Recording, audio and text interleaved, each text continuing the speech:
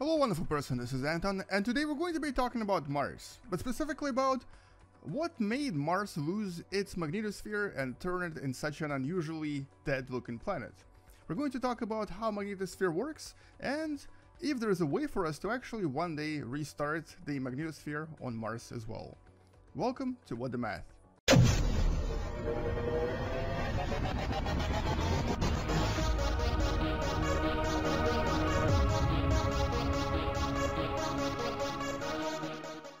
And to make this video a little bit more clear, what I'm going to have to show you are a few um, pictures and a few visuals of what is inside of Mars and what's inside of Earth and what we today think uh, drives the magnetosphere and what makes it essentially so active on Earth and inactive on Mars. Now this is actually based on a re relatively uh, new study that tries to investigate the potential mechanisms for how to stop magnetosphere.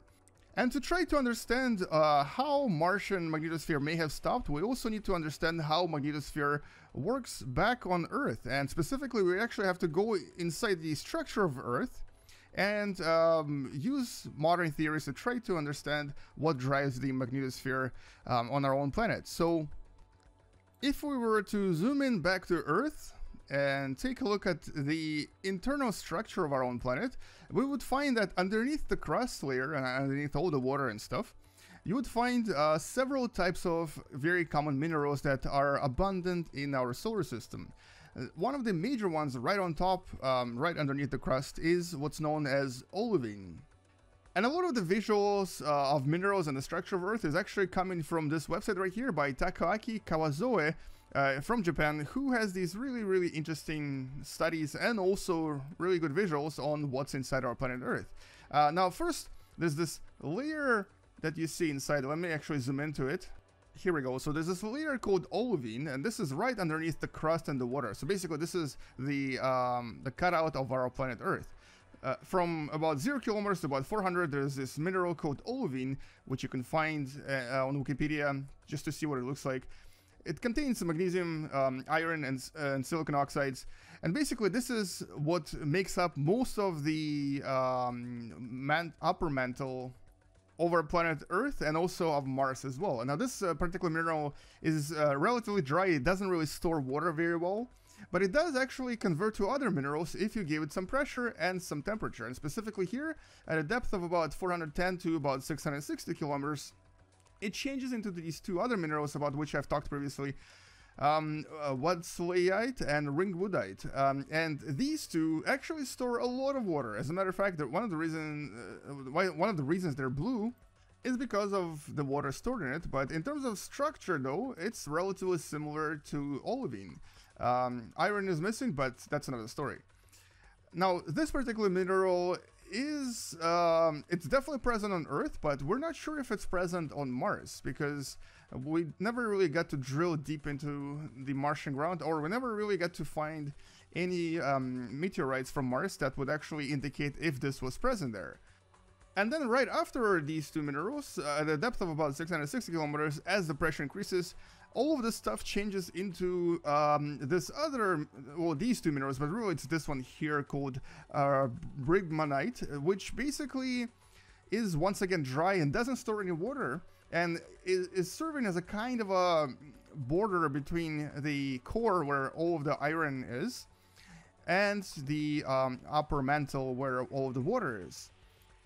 So this layer here is essentially like a shield, a shield protecting the area where there is a lot of iron circulating from the area where there is actually um, water underneath the surface.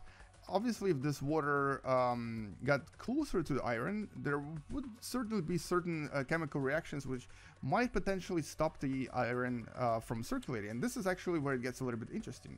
So it turns out, and this is from a new study uh, about Mars, that it's very likely that the water that Mars used to have underneath here was actually getting closer and closer to the actual iron. So in other words, the uh, this layer here, Bridgmanite layer, uh, kind of started to disappear and eventually only the ringwoodite uh, remained, followed by the actual iron level. In other words, this whole area where there's a lot of circulation of iron, which we think creates the magnetosphere, um, basically started approaching the area where the, there was a water layer. Now, the way that the actual generation of the magnetosphere works is through what's known as convection, and this is the modern theory that explains it, where basically we think that the denser material on top falls to the bottom of the planet, and the lighter material or the less dense material goes to the top. And uh, here it might change composition again, become more dense, and fall to the bottom again. And this kind of creates this circular motion inside the core of our, not the core, inside the um, mantle of our planet where we think iron might be circulating and creating the magnetosphere due to the circular motion uh, that is generated by the convection. And for as long as this layer is here, um, it allows for this circulation to basically continuously occur over periods of billions of years. Basically, a lot of this material becomes more dense, uh, sinks to the bottom of the planet, and some of it comes to the top, and um, the process is repeated again. But we think that maybe, just maybe, because Mars started cooling down and because the pressure started to decrease just a little bit, uh, eventually, with time, the ringwoodite started touching the iron core. And all of the water inside this material, uh, or I guess this mineral, started to escape and react with various things in this area.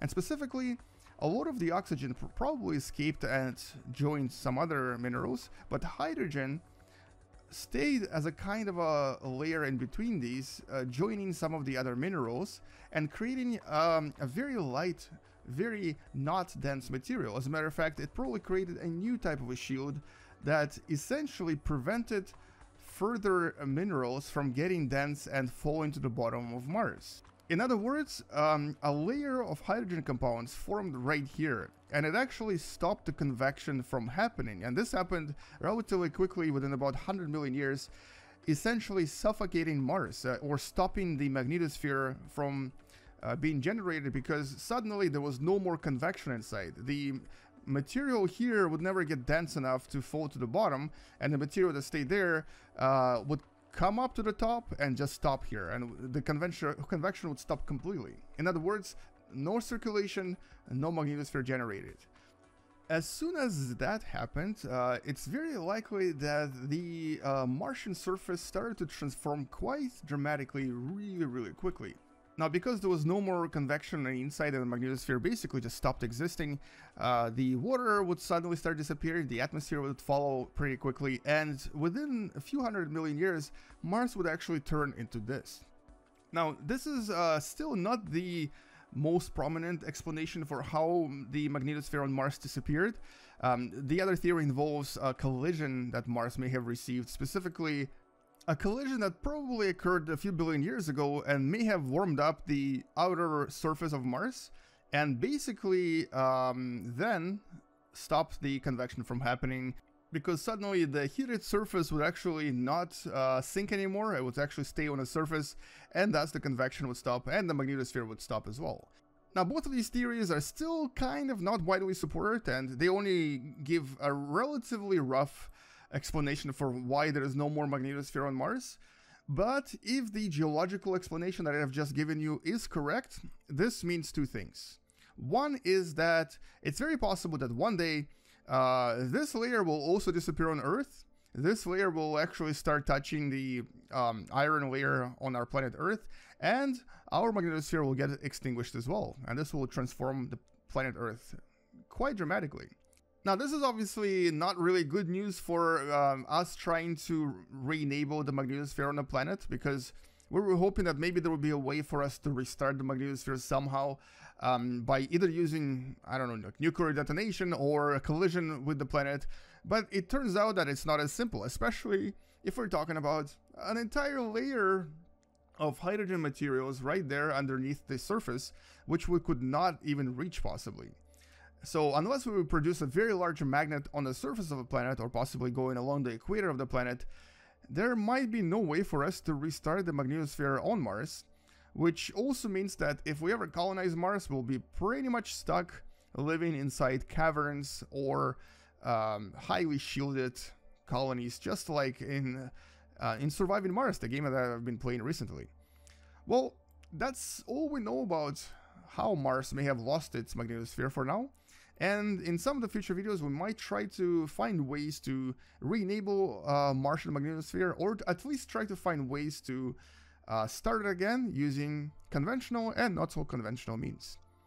Anyway, I hope you learned something about uh, Mars in this video, and thank you so much for watching. Subscribe if you still haven't, and share this video with someone who enjoys watching videos or learning through video games.